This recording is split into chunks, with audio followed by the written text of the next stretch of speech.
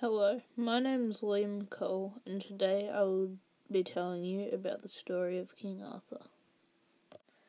The story of King Arthur was a medieval romance between King Arthur himself, Guinevere, and Lancelot. It was a very complex story with a lot of people in it. Lots of people know of King Arthur and most of the parts of the story, like Lancelot, Merlin, the Excalibur, and the Round Table. King Arthur was the king of Camelot in somewhere around the 12th century. We don't know where Camelot is located, but we know it is somewhere in England and took place after the Lancelot Grail cycle. We know that King Arthur was very close to all of his knights, like every king should be.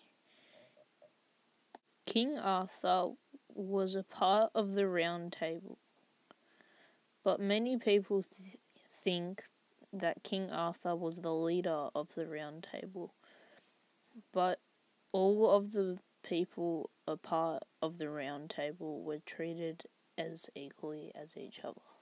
Lancelot was also a part of the Round Table and was said to be a fantastic swordsman and also the best jouster of their time.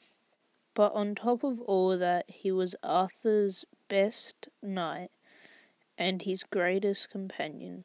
This was all up until his affair with Guinevere, King Arthur's wife, which led and caused a civil war, which later then led to the end of King Arthur's kingdom.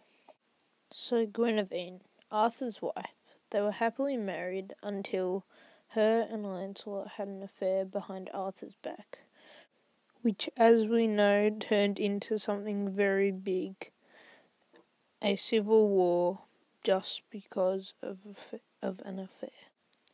The Excalibur was a legendary sword of King Arthur's that was said to have magical powers.